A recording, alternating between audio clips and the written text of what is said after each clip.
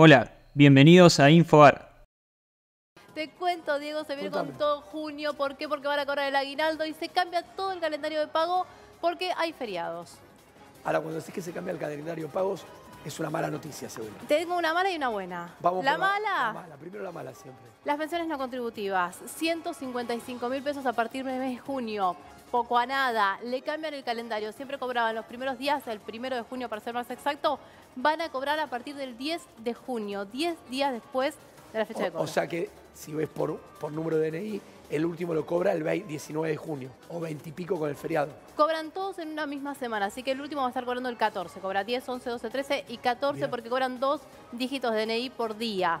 La Ok. jubilación mínima sí comienza el 10, que es el calendario habitual, hasta el 19 porque 20, 21 es feriado, 17 también es feriado, así que ahí se adelanta el calendario de pago para que puedan terminar todos cobrando.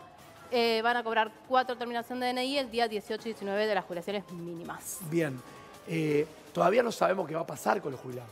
No, está todo muy lento, ¿no? El tema del desarrollo de la ley de bases Mejor. se sigue posponiendo. Por un lado, mejor. Ahora es cierto, vos tenés esta información, Nati, o también le pregunto a Lu, que existe una mínima chance de que haya un cambio en esta derogación de la moratoria que tanto nos preocupa Ah, bueno. si es que regresa a Ah, bueno. diputados. ¿Te acordás, En Ah, realidad, bueno, la ¿te acordás cuando lo moratoria- dije, Bueno. Que te me reíste? En, No, en realidad reí. hay que tener en cuenta este dato. Cuando se sí. trató la ley bases en la Cámara de Diputados, el capítulo de la moratoria fue el capítulo que menos votos recibió, 125 votos. Fue aprobado por, Por esto. poquito, Dicen claro. que en la Cámara de Senadores hoy no están los datos, los números para poder aprobar ese capítulo. Ver, Ojo doctora. con eso. Bueno, ¿eh? sí, la verdad es que va y vienen las posibilidades. Obviamente la moratoria seguiría vigente hasta febrero del 2025, que va a caer igual. ¿Por qué? Porque tiene fecha de vencimiento, o sea que si no termina ahora tenemos 6 a 8 meses para poder utilizarla. Lo que no vamos a lograr, me parece, es que se renueve el plan de moratorias con lo necesario que es para nuestro país, ya que la gente se jubila el 90% con las moratorias. Ahora, eh, todavía no se sabe. Eh, ¿Sabemos por qué le pregunté a mi papá cuánto iba a cobrar y no tiene bien claro? Este es el mes de... tres- Aguinaldo, el aguinaldo, bono. el, el- el 8% de la inflación más el bono. ¿En cuánto queda una mínima? Exactamente, para tu papá le va a quedar la mínima 207 mil pesos, bono de 70 mil y aguinaldo de 103 mil, miento, 380 mil pesos en total 380 con la, mínima, con la el mínima. bono, el aguinaldo y el que tiene el plus aparte de 12 mil pesos por haber trabajado 30 años con aportes, casi 400 mil pesos Ahora. ¿y la POAM? Y la pone un poco menos que un 165 la POA, le suma 70 de bono y 75 de aguinaldo, te quedarán 325. Es un mes donde van a cobrar un poquito más. ¿no? Te agrego un sí. dato, semana que viene, 4 de junio, ya está prevista una sesión en la Cámara de Diputados para empezar a tratar el tema de la movilidad jubilatoria Ah, para recomponer los haberes jubilatorios. Hay cuatro dictámenes de comisión, los que tienen más chances de llegar es el de Unión por la Patria o el de la UCR con el bloque de Pichetto y demás bloques. Pero hay Bien. novedades en que pueda haber una- un buen dictamen para la movilidad jubilatoria. Dame tres preguntitas para la Dale, por supuesto está el teléfono en pantalla, abrimos el consultorio para, por supuesto, abordar todas las dudas que tienen desde casa. Me llamo Beatriz, nos dicen por acá, tengo cuatro años y medio de aportes monotributo, cumplo los 60 años en octubre. ¿Qué pasa con mi jubilación? ¿Voy a poder jubilarme o voy a tener que esperar una PUAM, por ejemplo? No, esperemos que no, porque ¿sabes cuánto tiene que esperar una mujer que no se puede jubilar hoy? Hasta la PUAM, cinco años sin jubilación. Las mujeres están hoy esperando cumplir los 60 para poder ir a hacer el trámite y se encuentran con la situación de que no se puede sin las moratorias y aún con la moratoria tenés que tener hijos o aportes para poder jubilarte. Ella hizo bien porque aportó monotributo, tiene cuatro años, así que en octubre, si está la moratoria, te vas a poder jubilar. Vamos con otra dale, que está muy relacionada dale, con el tema dale. porque nos dice, mi esposa presentó los papeles de la moratoria y tiene número de expediente, pero si sale la ley de bases, ¿qué pasa? ¿Es un derecho adquirido o pueden volver para atrás y dejarla sin jubilación? Bueno, esperemos que esté todo bien. Si hablamos de derechos, siempre se tiene que estar a lo más favorable para la persona, por lo cual si inició su jubilación deberían de dársela otorgada, salvo que salga denegada, va a tener asegurada su jubilación si ya está iniciada. ¿Qué está pasando, doctora, con la garrafa social? Bueno, plan hogar, tenés que ingresar a hacerlo. Vos sabés que dura 12 meses, por lo cual una vez que lo haces, a los 12 meses culmina. Muchas veces se encuentra la gente con que se lo dan de baja. Hoy está activo, inicialo y este, inscribite. ¿Por qué? Porque te van a dar el 80% de subsidio en la garrafa que vas a comprar de 10 kilos, más o menos de estar 8 ¿Cuánto mil o una 9 mil garrafa pesos. hoy?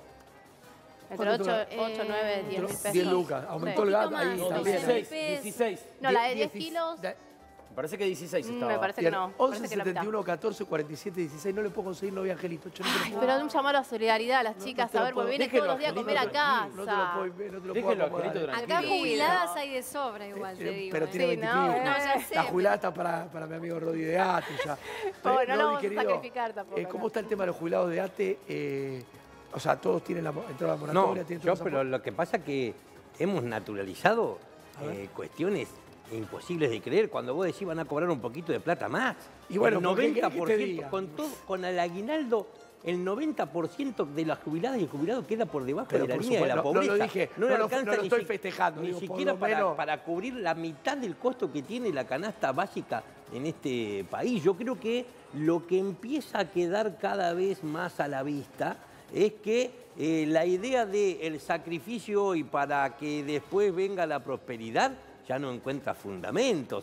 Que vamos a sufrir ahora en el presente para que en el futuro Sí. eh, haya felicidad. Está complicado. eh, eso, Es eh, no hay luz en el túnel y el la presidente... épica, la épica del sufrimiento para mí Y, y miré que, corta. ¿Cuál fue el único anuncio que hizo en Córdoba eh, en ese acto de evaluado que conformaba el Consejo de Mayo y convocaba dentro de los participantes a los gremios? Eh, el sindicalismo no puede formar parte de ese Consejo de Mayo. Espero que no haya ningún dirigente gremial que se le ocurra asistir o al menos que tenga mandato de sus representados para ello. Lo que está haciendo el gobierno es buscar cómplices, partícipes necesarios para continuar con el saqueo y la entrega de todo nuestro país. Bien. Dame dos preguntitas. Dale, por picamos, supuesto. picamos, Vamos dale, con otra dale, dale, ola. dale. En ANSE me dijeron que con tres hijos llegaba justo porque tengo 16 años de aportes y 56 años de edad. Pero ahora me dijeron que los años por hijos no aplican para la moratoria.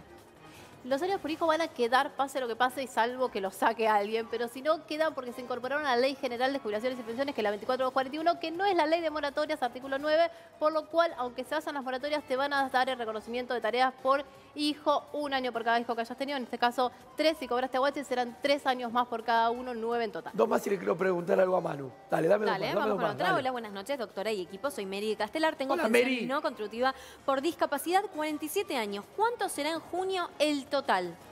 Bueno, el total, si le sumamos 155 mil pesos, quedó en el- con el aumento del 8,8. Vas a cobrar el bono que es para todos los que tienen la mínima pensiones no contributivas y puedan 70 mil pesos. Y el aguinaldo para ellos 70 mil 75 porque es la mitad del mejor haber que va a ser el de junio, 155 y 50% Che, el Me aguinaldo. está escribiendo Armando de Banfield. Me pregunta si Fede tiene novia. No, no sé. No. Armandito, no sé si. Armando, pero ¿qué tiene que ver Armando? Pero primero. Deconstruite, Primero flaco. Primero conseguirle Angelito. Escuché bien. Más, dale. Vamos con otra. Soy Esther de No Misiones. igual, ¿eh? En diciembre cumplo 60 años, pagué 7 años de monotributo social y tengo cuatro hijos. ¿Me podré jubilar sin moratoria? No. No No, y nadie. A ver, si van a hacer esa pregunta, ya sepan que nadie se puede jubilar sin moratoria. Así que evitemos la consulta porque de 10, solo una. Si tenés 30 años de aporte trabajado, que suele suceder muy poco, te vas a poder jubilar. Si no, todos los demás necesitamos moratoria. Si en diciembre tenés 16 años de aporte, por más que tengas hijos, necesitas la moratoria para jubilar. Por favor, suscríbete al canal y activa la campanita para enterarte de todas las novedades. Dejanos tu comentario, dale me gusta y compartir el video con tus conocidos. Gracias y hasta el próximo video.